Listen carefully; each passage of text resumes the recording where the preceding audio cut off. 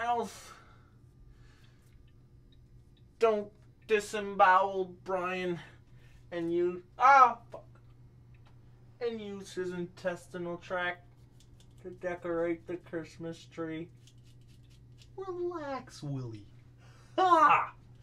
By the way, his severed head makes a brilliant star.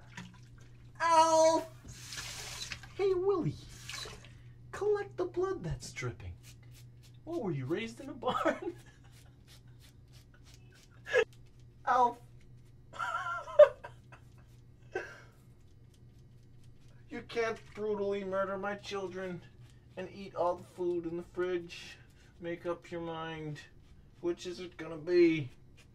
hey, Willie, who says I can't have both? Remember, who's the knife wielding maniac? Touche, Alf. Willie, has anyone seen Kate? What do you mean, Alf? I thought she went grocery shopping. If by grocery shopping you mean chopped up into tiny pieces in the bathtub, then yes. Ha! Alf! Hey, Willie. Lynn's bed is covered with human remains and Melmacian chism. Alf! Relax, Willie. Rudy! You can't solicit sexual favors if you don't get experience. See, now, you smoke the pole, zoom.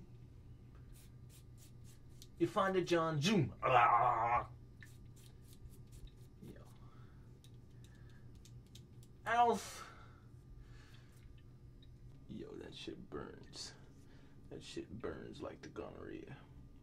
You know, it burns like that time when Groucho Marx got the clap in 1917 from Chico. Hey, it's a good, huh? Hey, there isn't no girls all around. There isn't no girls for miles. So what are we gonna do? Gee, I don't know. Hey, uh, I'm gonna slide on my salam into your uh, shit pit.